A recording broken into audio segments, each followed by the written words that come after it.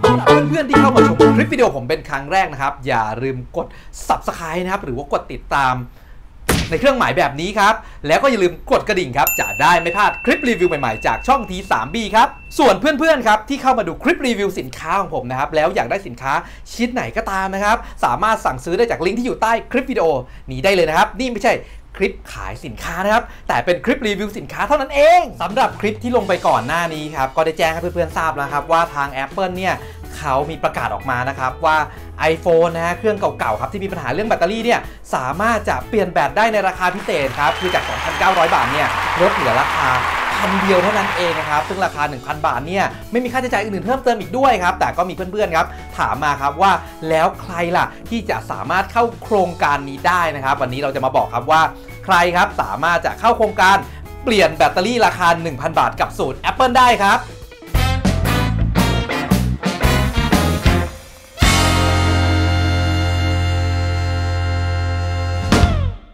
สำหรับเครื่องนะครับที่จะสามารถเปลี่ยนแบตเตอรี่ได้นะฮะก็จะต้องเป็น iPhone 6 ขึ้นไปครับไม่ว่าจะเป็น iPhone 6 iPhone 6s iPhone SE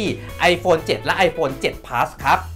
เราจะรู้ได้ยังไงครับว่าแบตของเรามันเสื่อมแล้วฮะวิธีสังเกตง่ายๆครับถ้าเพื่อนใช้งานโทรศัพท์แบบปกตินะครับแบตเตอรี่อยู่ประมาณ 80%นะครับแล้วอยู่แบตเตอรี่ของเพื่อนๆ ก็ลดไปเหลือแค่ 40%แล้วอีกไม่นานครับก็กลับมาเป็น 75%ครับแบบนี้ครับยืนยันได้แน่นอนครับว่าแบตเตอรี่ของเพื่อนๆเนี่ยเริ่มจะเสื่อมแล้ว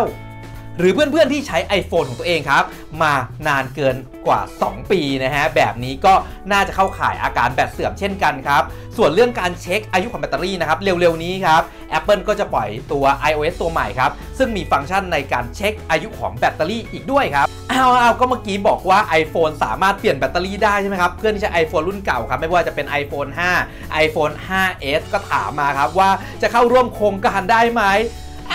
ไม่ได้นะครับต้อง iPhone 6 ขึ้นไปเท่านั้นครับ ส่วน iPhone 5 หรือ iPhone 5s หรือที่เก่ากว่านั้นนะครับ สามารถเปลี่ยนแบตเตอรี่กับสูตร Apple ได้ในราคาปกติครับ แต่ถ้าจะแพงในขนาดนั้น ซื้อเครื่องใหม่ดีกว่าไหมฮะ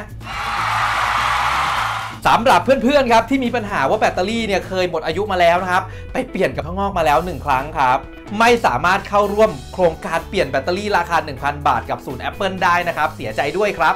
แต่สำหรับเพื่อนๆครับที่มีปัญหาจอแตกนะฮะแล้วว่าไปเปลี่ยนจอเทียมมาแล้วนะครับหรือว่าเปลี่ยนจอข้างนอกเนาะที่ไม่ใช่จอศูนย์ครับยังสามารถเข้าร่วมโครงการนี้ได้นะ แต่ Apple ครับจะประกันให้แค่แบตเตอรี่เพียงอย่างเดียวเท่านั้น ไม่ประกันในเรื่องอื่นนะครับ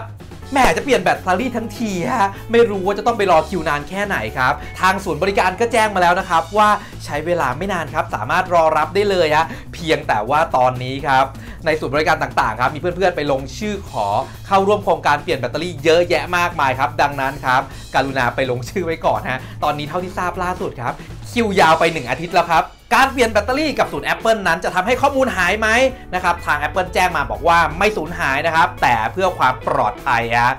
backup ข้อมูลไว้ก่อนครับ ชัวร์ที่สุด ชัวร์ที่สุด ชัวร์ที่สุดชัวร์ที่สุด สำหรับ iPhone 7 และ iPhone 7 Plus ครับ ที่มีระบบกันน้ำและกันฝุ่นครับ เมื่อเปลี่ยนแบตเสร็จแล้ว Apple จะทำการซีลขอบยางทั้งหมดใหม่ให้นะครับ ดังนั้นครับ ไม่ต้องห่วงครับ ยังกันน้ำและก็กันฝุ่นเหมือนเดิมนะจ๊ะการเปลี่ยนแบตเตอรี่กับสูตร Apple ครับ ไม่ได้รวมถึงการอัปเดตซอฟต์แวร์นะครับ ดังนั้นครับ ถ้าเพื่อนๆใช้ iOS 10 อยู่นะครับ หรือ ใช้ iOS 11 หรืออะไรก็ตามนะครับ การเข้าไปเปลี่ยนแบตในศูนย์ครับ ก็ยังคงเป็นระบบปฏิบัติการเดิมของเพื่อนๆครับ ไม่ได้มีการอัปเดตข้อมูลหรือซอฟต์แวร์ใดๆให้นะครับ เพื่อนๆสามารถครับเข้าไปติดต่อเปลี่ยนแบตเตอรี่ครับกับศูนย์ AASP นะครับ หรือศูนย์ Apple Authorized Service Provider ประเทศไทยได้นะครับ ก็ไปตรวจสอบรายชื่อจากตรงนั้นได้เลยนะครับ ก็จะมีนะครับ iCare iService iCenter ครับ ใครสะดวกที่ไหนครับ ก็ไปใช้บริการที่นั่นได้เลยนะครับสำหรับวันนี้ก็ขอขอบคุณเพื่อนๆมากๆครับที่ติดตามชมผมครับ The Baby Boom กลุ่มตุสุมอันสิงครับถ่ายชิปอิ่มดำครับรู้ก่อนไปใช้บริการครับจะได้ไม่ผิดหวังครับ กับวันนี้คลิปแนะนำนะครับ ข่าวคราวจาก Apple นะครับให้ไปเปลี่ยนแบตเตอรี่กันนะครับสำหรับคนที่แบตเตอรี่เสื่อมนะฮะและเพื่อนๆครับที่อยากจะดูคลิปเกี่ยวกับการรีวิวระบบปฏิบัติการ iOS ในเวอร์ชันอัปเดตต่างๆนะครับสามารถกดจากการ์ดครับที่ผมใส่ไว้ตรงนี้ ไปดูได้เลยครับ วันนี้ต้องขอขอบคุณครับที่ติดตามชมไปก่อนครับบ๊ายบาย